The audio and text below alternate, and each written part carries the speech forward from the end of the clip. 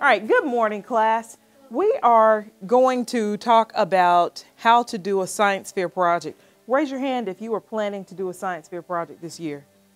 All right, that looks like everybody in the room is planning to do a science fair project. Thank you. Does anyone already have their science project ideas? Oh, several of you do. What's your idea for your science fair project? Mine's how fast can a control car roll on different surfaces? A remote control car?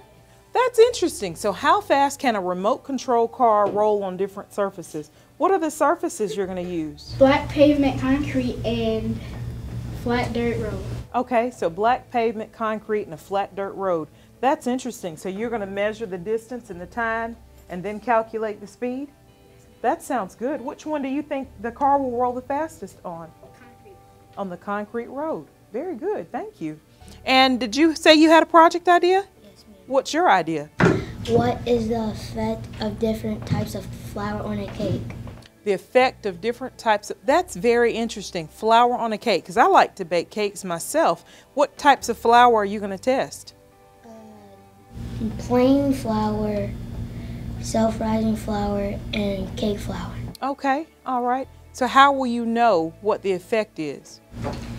To measure how tall each cake gets longest. So you're going to measure how tall each cake is after it's baked. Very good. So you use the same amount of milk and the same amount of sugar and the same amount of eggs, but you'll change the flour. That sounds like a really good experiment. Very good, very good.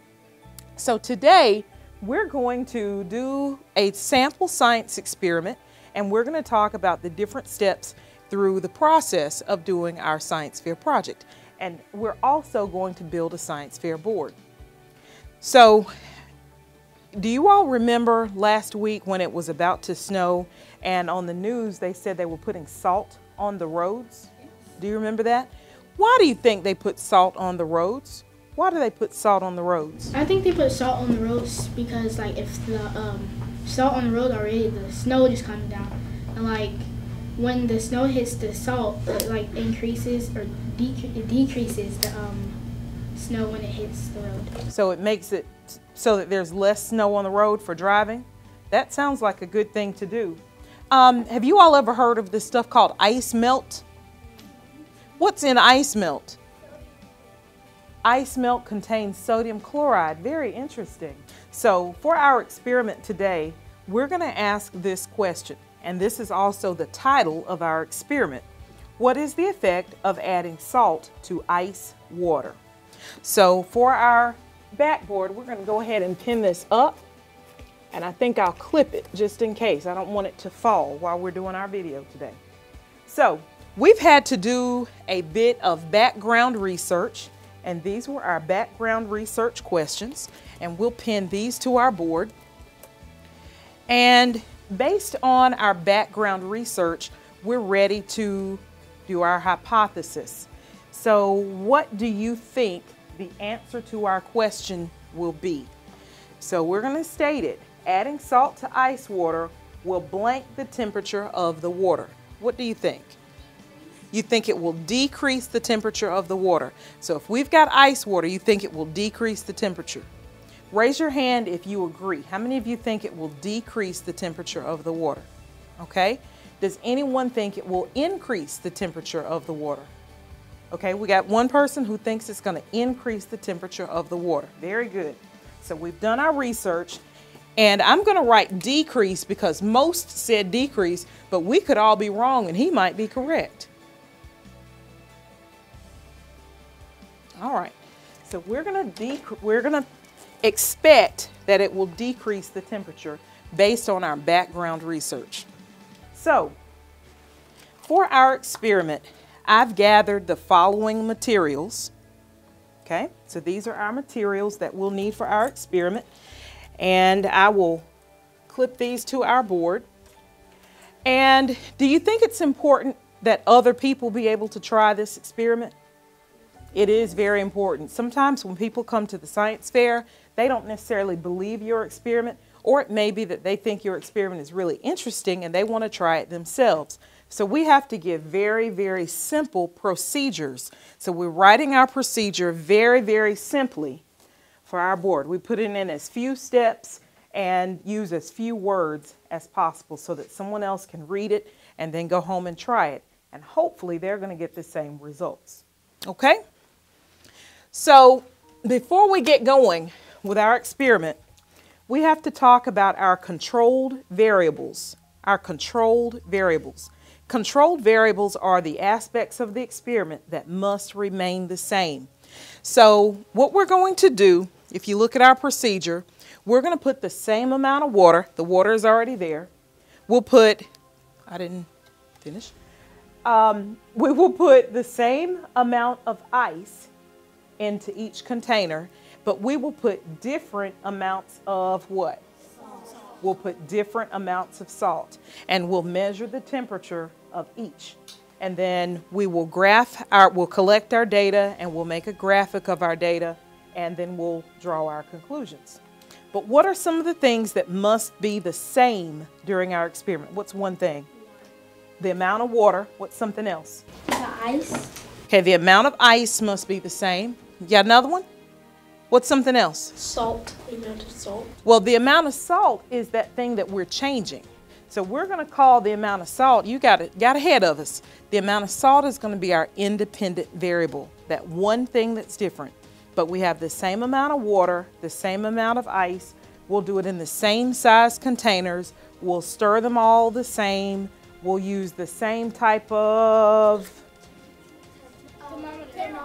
same type of thermometer. So we're not going to measure some in Celsius and some in Fahrenheit. We'll do them all in the same temperature scale. So our independent variable is the one thing we're changing. And what did we say we were changing? The amount of salt. Each one will have a different amount of salt. And by doing that, we will get one dependent variable. And what is the one thing that we will find out? What's the thing we'll find out? Um, what what is the effect of adding salt to the water? Good. We're going to find out the answer to our question and that's our dependent variable. Your dependent variable is basically your results, okay? So I think we are just about ready to go. All right. All right, so we've got our water. We're going to put two scoops of ice into each container.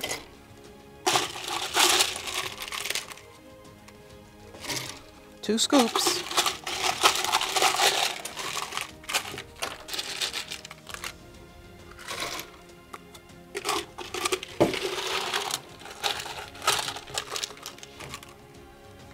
So why do I have to put two scoops into each container? Why can't I put two scoops in most of the containers?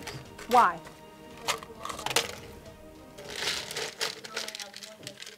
Good, I can only have one thing that is different.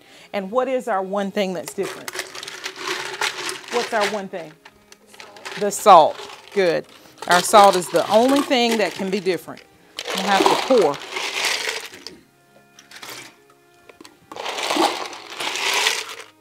Now, what would be maybe a better way to measure our ice?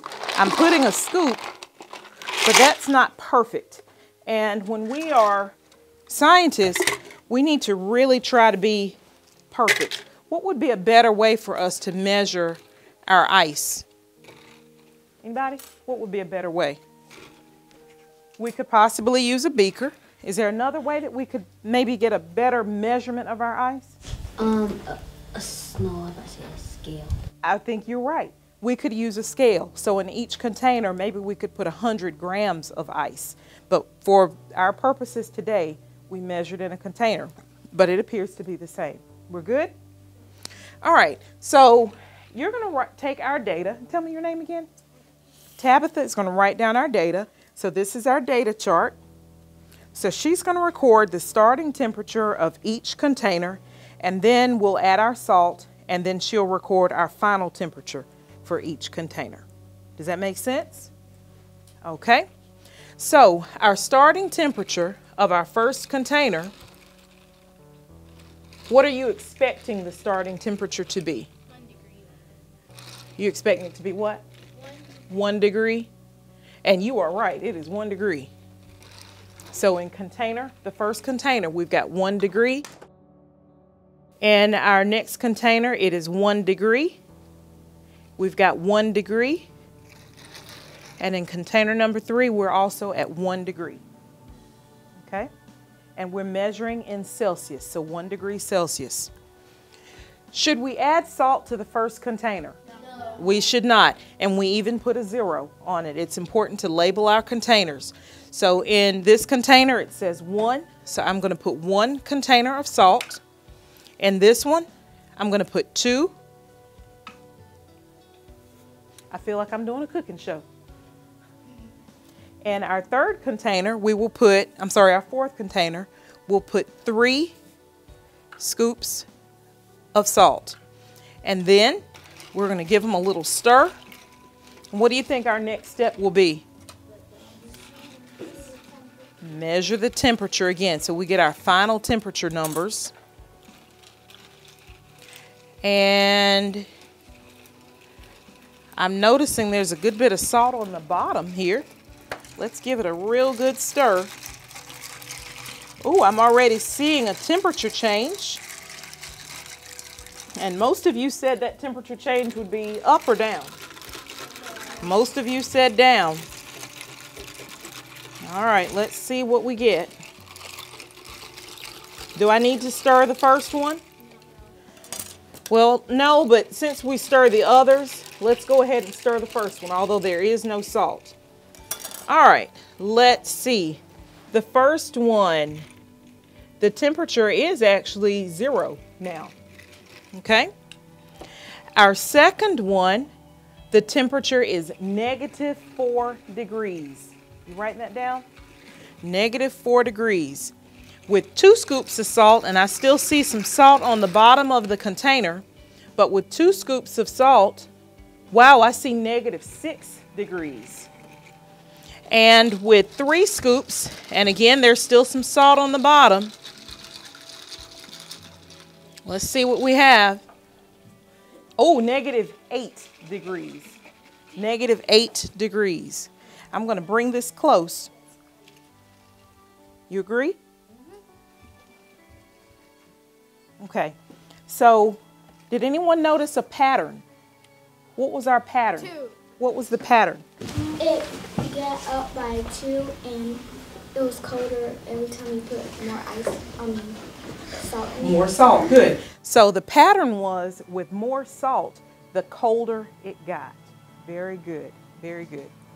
So our results, we observed that when salt is added to ice water, the temperature decreases. The temperature decreases.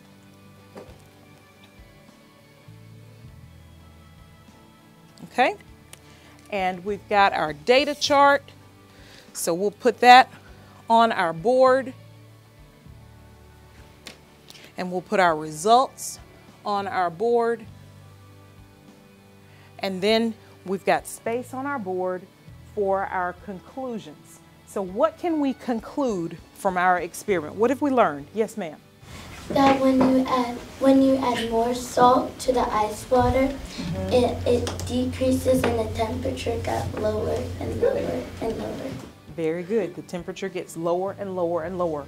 So if you all go back to the page that you did your research, you'll find out more information about making that mixture of salt and ice water and why the temperature decreases and eventually why the salt will melt the ice.